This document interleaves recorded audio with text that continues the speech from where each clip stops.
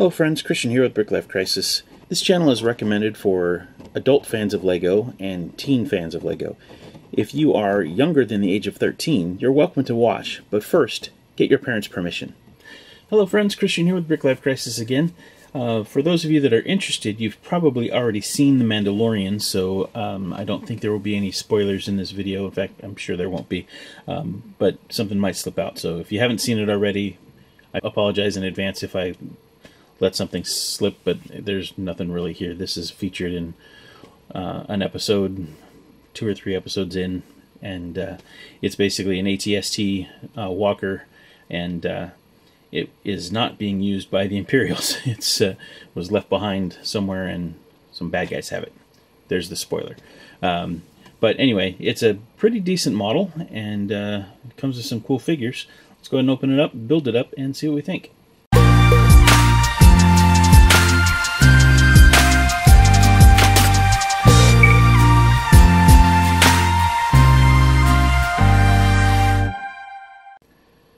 All right, here it is, set number 75254. This is from The Mandalorian. It's an ATST. As you can see, it includes four minifigures, and they also included the ultra rare brick separator. Very cool. All right, let's take a closer look. So the big thing you'll notice here is the legs are very different color from any of the ATSTs we've gotten in the past.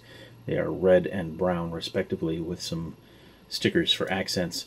Um, it's essentially the same build as the one that we got a few years back.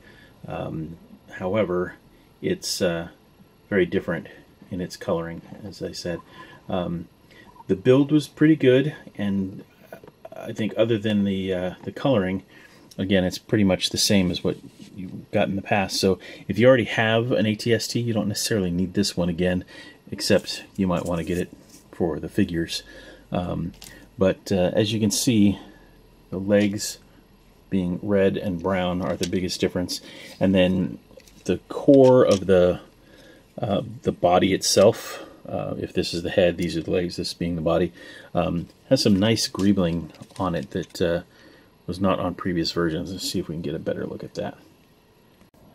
So underneath what would be the back of the head, we have some paint rollers and some other things in there that are just added as greebling. Then you have these things, those are stickers, uh, just to represent some additional stuff.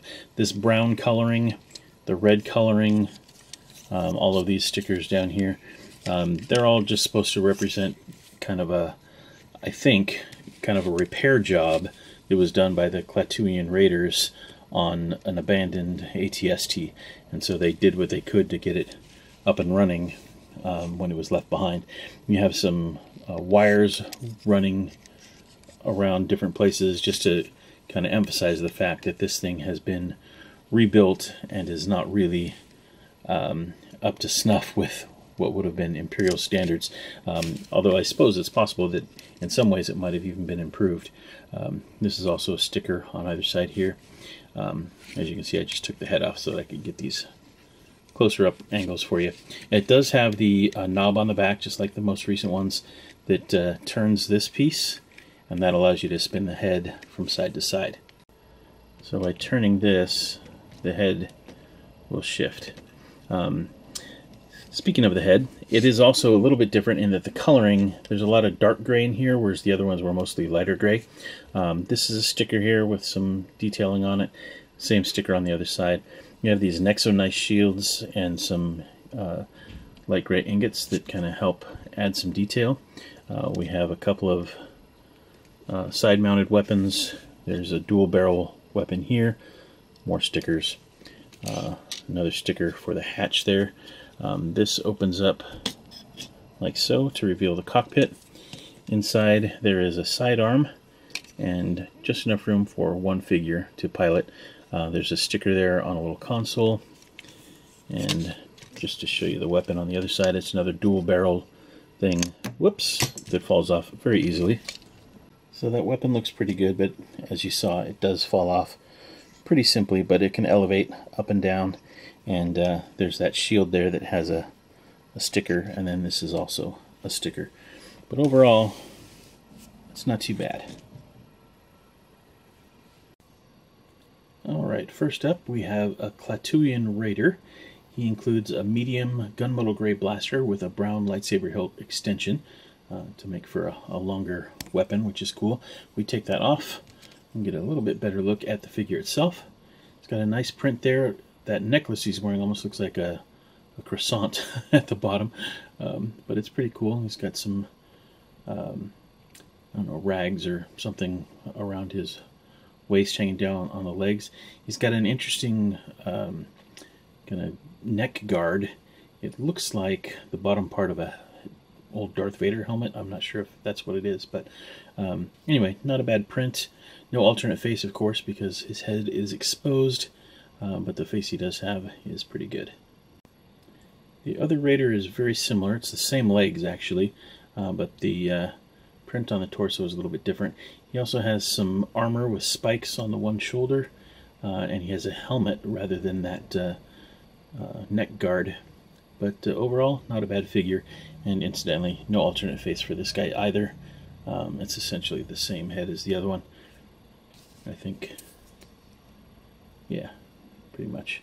So anyway, this guy comes with two of uh, the nozzle pistols um, that have been used several times before, but uh, anyway, not too bad. Next up is Cara Dune. Um, she has a long rifle with a lightsaber extension, making for a very long weapon, which is cool, but it's almost too long. It's kind of ridiculously long in comparison. I mean, it's taller than the figure. Um, the figure itself is good, though.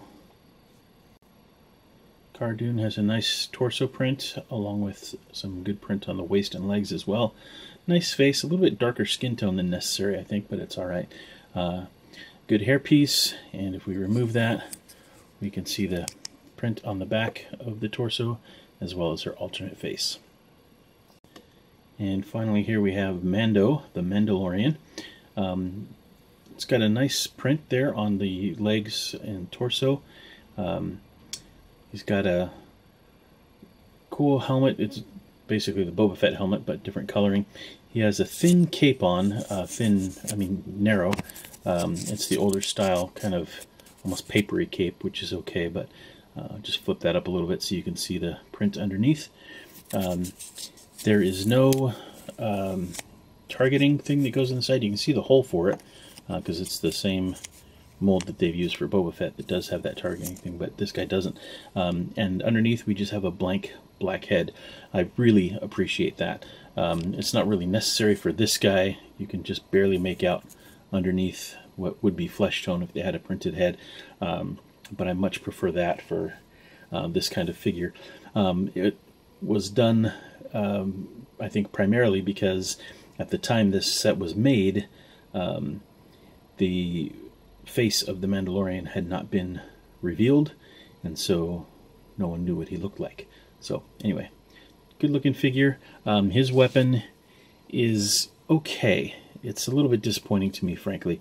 Um, it's a just a sidearm blaster with a brown lightsaber hilt and then that uh, claw piece there at the end. So that end of the weapon is somewhat accurate, but the back, there is no stock. It should have a stock similar to this one. So if you could somehow marry these two weapons, you'd be closer to what it looks like in reality. But anyway, the figure is good, even though the weapon isn't perfect. Uh, there's only so much you can do in LEGO, though, without creating a brand new mold. So this set retails for $50 here in the US, which for the piece count of 540 isn't too bad. The last ATST I think was $40, so the price has gone up a little bit. But this is a newer property with the uh, Mandalorian. Some cool figures, and uh, with inflation and everything, I guess the, the new price point isn't too bad. It's a good build. I enjoy the um, the overall aesthetic of it. It's kind of different. Uh, however, I don't know that it's necessary. If you already have the earlier version, maybe you pass on this one if you're not really adamant about getting the uh, Mandalorian and the Klatooinian figures, Cara Dune figure. The ATST itself is fine. Um, it's pretty cool actually, but I don't know that you necessarily need both of them. But I will say it's definitely better than the one from The Last Jedi, for sure. So as I say, overall, I think it's a pretty cool model, um, but uh, I don't know that I would necessarily say it's a must-have unless you're a huge Mandalorian fan. Um, but anyway, this has been Christian with Brick Life Crisis. Hope you enjoyed the video. If you did, please leave us a like. If you have any questions or comments, leave those below. And as always, thanks so much for watching. Take care, and may the Force be with you. Bye for now.